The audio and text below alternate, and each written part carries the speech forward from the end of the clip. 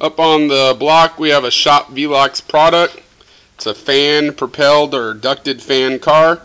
Um, we have a switch there on the side and a bumper switch in the front. When we let down the gate the bumper switch is released and allows the power to go to the fan and go down our 30.75 foot long aluminum track. Come down here, there is absolutely zero time on the timer and we're ready to race.